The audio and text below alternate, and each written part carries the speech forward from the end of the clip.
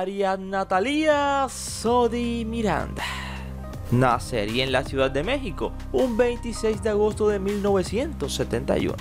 Ariadna, hija del científico, escritor y criminólogo Ernesto Sodi Payares y de la empresaria Yolanda Miranda Mangué.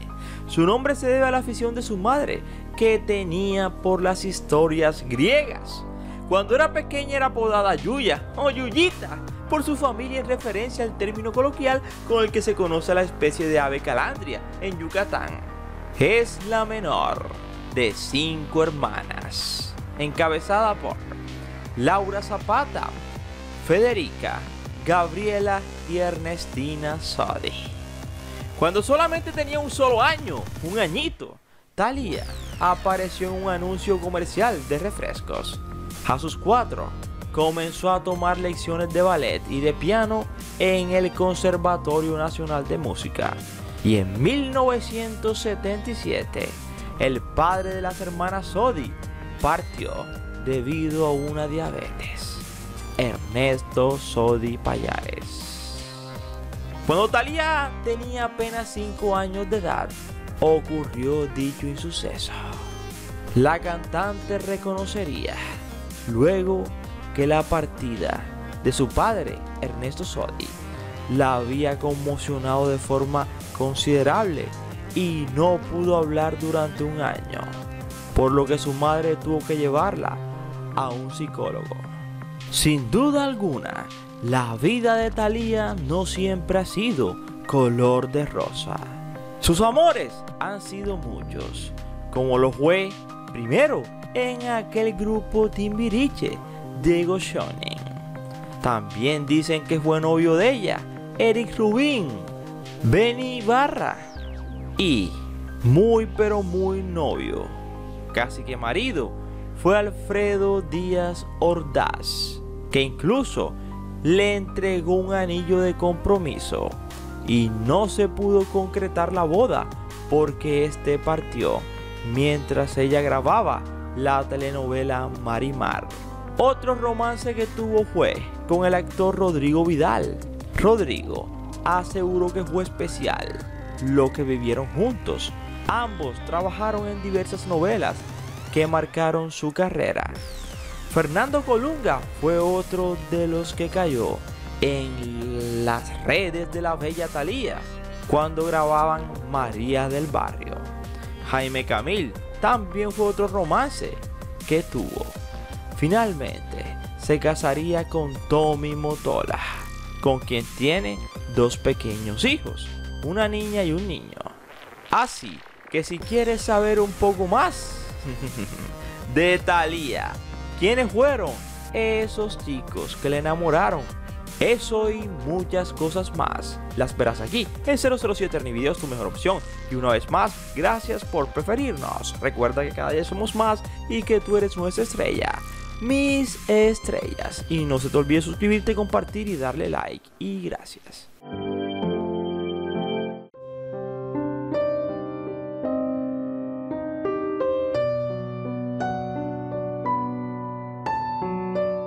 Al partir su padre, Talia quedó sumida en la tristeza a su corta edad.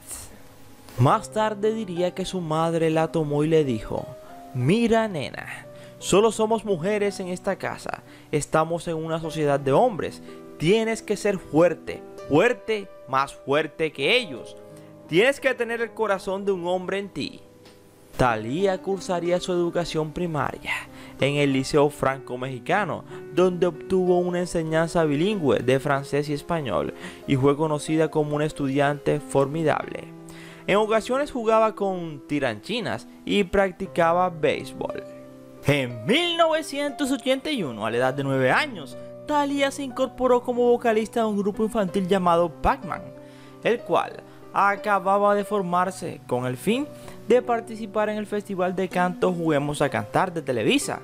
Poco después, Pac-Man cambió su nombre a Din Din y con dicho grupo la cantante se presentó en fiestas y eventos ocasionales, llegando a grabar cuatro discos entre el 82 y el 83 hasta la desaparición de dicho grupo. Tras la desintegración de Din Din en 1983, Thalía participó como solista en los siguientes dos festivales anuales de Juguemos a Cantar. En el del 84 quedó en segundo lugar con la interpretación del tema musical Moderna Niña del Rock. Y esto le brindó la oportunidad de participar en el coro musical Vaselina, una versión infantil del exitoso musical del mismo nombre, Grace, donde actuaban los integrantes del grupo Timbiriche, Sasha Sokol, Benny Barra, Eric Rubin, Diego Schoenen, Mariana Garza, Alex Bauer, Paulina Rubio, entre otros. La banda infantil promovida por Televista empezó como una de las bailarinas en el fondo del escenario, pero tiempo después obtendría el papel estelar de Sandy D en el musical y al final concretó un total de 500, sí, 500 representaciones de Vaselina junto a Timbiriche.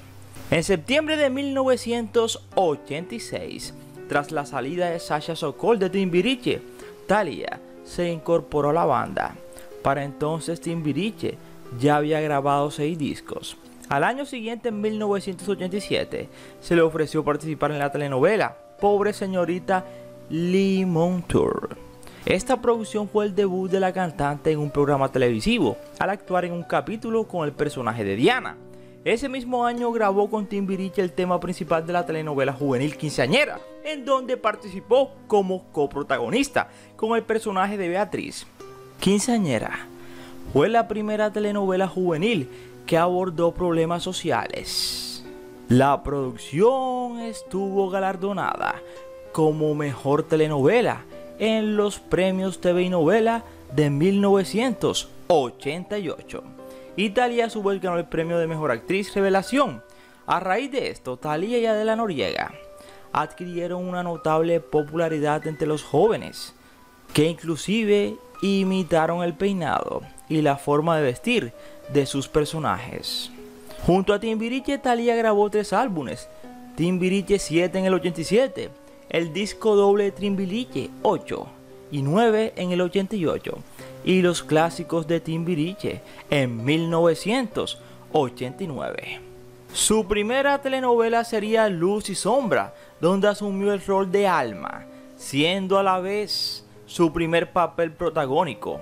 Poco después, viajaría a Los Ángeles, California, para tomar cursos de inglés en la Universidad de California, así como lecciones de música, canto, actuación y baile, antes de comenzar su carrera como solista.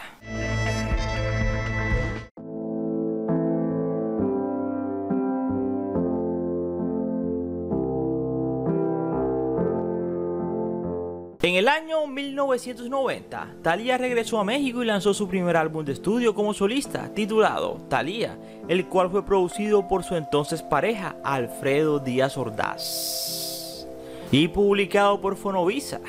Contenía los sencillos Amarillo Azul, Pienso en ti, Un impacto entre los dos y Saliva. En septiembre de 1991 la cantante publicó su segundo álbum, Mundo de Cristal. En octubre del 92, Thalía lanza su tercer álbum de estudio y el último bajo el sello discográfico de Fonovisa titulado Love, que se grabó en España y contó con la producción de Luis Carlos Esteban pero sería reconocida a nivel internacional. Más popular fue después de protagonizar la telenovela Luz y Sombra. Thalía retomó su carrera como actriz y protagonizó la telenovela María Mercedes, la primera de la trilogía de las Marías, producida por Televisa en 1992. Por su actuación en esta novela, la cantante Thalía obtendría un premio TV y novelas en la edición 93 como mejor actriz. Aunado aún, Heraldo como actriz revelación, un galardón Eres en la categoría de mejor actriz y un premio Bravo como mejor actriz juvenil. En 1994, Televisa estrenó Marimar y al año siguiente la serie concluyó con María del Barrio.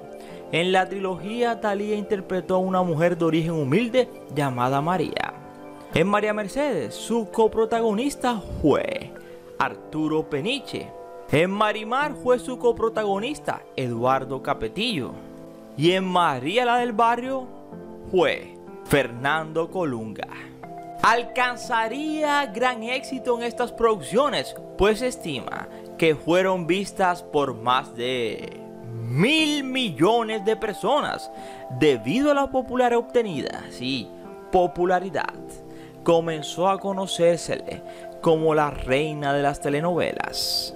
Sin embargo, existieron algunas críticas por parte de la prensa, las cuales juzgaron negativamente los estereotipos que reflejaba a su personaje, además de coincidir en que la historia de básicamente era la misma serie.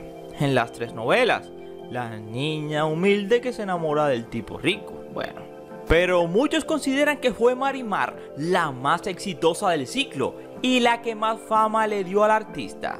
Esta producción rompió récord de audiencia en más de 40 países en su exhibición original.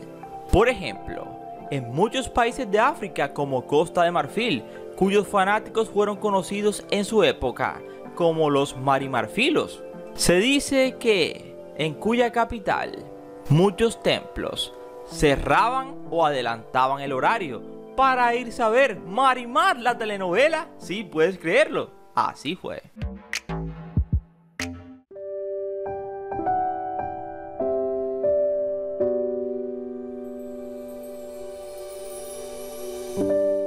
Cuando Thalía se integró a Timbiriche, uno de sus primeros novios fue Diego Schoening, también integrante de la banda. Igualmente en esa época se le relacionó sentimentalmente con Benny Barra y Eric Rubin, los miembros restantes de la agrupación. En 1989 conoció a Alfredo Díaz Ordaz, hijo del expresidente de México, Gustavo Díaz Ordaz, con quien comenzó su noviazgo, que duraría cuatro años. Díaz Ordaz fungió como representante del artista y produjo sus primeros dos discos como solista, Thalía y Mundo de Cristal. Sin embargo, él partió en 1993 a causa de una hepatitis cuando Thalía grababa la telenovela Marimar. La cantante reconoció que este fue un duro golpe para ella. Afirmó en alguna ocasión que inclusive le había entregado el anillo de compromiso. Ordaz, quien era 20 años mayor que ella, y ella solo tenía 19 años cuando comenzaron su relación amorosa. Posteriormente, Talia mantuvo un noviazgo con el actor Fernando Colunga, con quien protagonizó la telenovela María la del Barrio en 1995. Colunga luego reconoció haber sido ese noviazgo como una de las peores experiencias amorosas que haya tenido en su vida. Eso dijo Fernando Colunga. Sí, fue una mala experiencia afirmando, porque el amor lo disfrutas con tu pareja, no con 800 mil personas que ni entienden tu relación. Tras esto, Talía comenzó a salir con Jaime Camil, que en ese entonces aún no incursionaba en la actuación. De hecho, Camil confesó en una entrevista en el año 2010 que Thalía lo había alentado a hablar con su padre respecto a su carrera en la actuación, ya que el padre de Camil prefería que él estudiara administración. Más tarde, la prensa relacionó a Thalía con Rodrigo Vidal y con Luis Miguel. Pero al parecer no hubo tanto romance, ni tanta chispa, ni tanta química. En plena filmación de la telenovela Rosalinda de 1999, Thalía conoció al entonces presidente de la disquera Sony Music, Tommy Motola. Ella diría, me lo presentó Emilio Estefan. Fue durante una cena. Estaba grabando aquí en México Rosalinda y fui a Miami un fin de semana a una reunión de amigos. Lo conocí y quedamos impresionados, señaló Thalía. El 2 de diciembre del año 2000, Thalía y Motola contrajeron matrimonio en la Catedral de San Patricio en Nueva York. Para el directivo estadounidense, se trataba de su tercer matrimonio. Al evento acudieron varios cantantes y actores, entre ellos Bruce Springsteen, Robert De Niro, Juan Gabriel, Julio Iglesias, Michael Jackson y hasta Jennifer López, entre otros, mientras que Emilio Estefan fue el padrino de la boda. La boda recibió gran atención mediática a nivel internacional y se le consideró el evento de ese año. Durante la ceremonia Thalía utilizó un icónico vestido de novia firmado por Mitzi, que pesaba unos 70 kilos. No obstante, el peso del vestido sobre Thalía se distribuía con los 17 metros de la cola. Era muy grande. Finalmente, según estiman diferentes medios, como lo dijo en su tiempo la revista Time, la boda costó unos 3 millones de dólares. ¡Wow! ¡Qué cantidad de dinero! Poco después Thalía confirmó en una entrevista, estoy viviendo mi propio cuento de hadas. La felicidad sí existe. Yo soy plenamente feliz al lado de Tommy. Me caso enamoradísima. En ese tiempo afirmó que Tommy quería mucho a su familia y la trataba a ella como una reina. ¿Qué más puedo pedirle a la vida? diría ella. El 7 de octubre del año 2007, el matrimonio tuvo su primera hija, a la que llamaron Sabrina, y el 25 de junio del año 2011 nació su segundo hijo, Matthew Alejandro. De acuerdo con estadísticas, ese mismo año el nombre de su segundo hijo, Matthew Alejandro, sirvió como referente para las familias latinas asentadas en los Estados Unidos. El 27 de mayo del año 2011, Yolanda Miranda partió, la madre de Thalía, pero la relación de Thalía con sus hermanas, Laura Zapata y Ernestina Sodi, se tornó problemática por diversos factores acaecidos.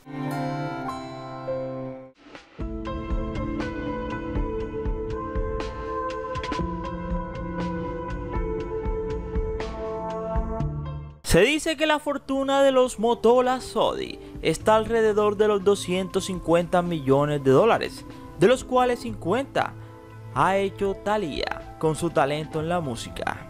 Ellos compraron un apartamento de 8 millones de dólares, de acuerdo con información. Sí, la humilde nueva casa de Thalía forma parte de la torre sur del Four Seasons Residence en The Surf Club un surf site en el sur de Florida. Está conformada por cuatro habitaciones y cinco baños. Mide nada más y nada menos que 4.000 pies cuadrados. Además, tiene una cocina de diseñador y pisos italianos bien lujosos. La espectacular residencia tiene vista al mar y dentro de las áreas comunes incluye una impresionante piscina y sauna y sala de masajes. Thalía, su esposo y sus dos hijos podrán iniciar una nueva vida en Florida en plena situación de insucesos mundiales por pandemias. Pero en todas sí, puede pasar lo que sea, pero ellos tienen todas sus comodidades y además con multimillonarios vecinos como productores, directores de disqueras y demás. Y esperamos que les haya gustado este interesante video, no sin antes decirles gracias por preferirnos. Recuerda que cada día somos más y que tú eres nuestra estrella, mis estrellas.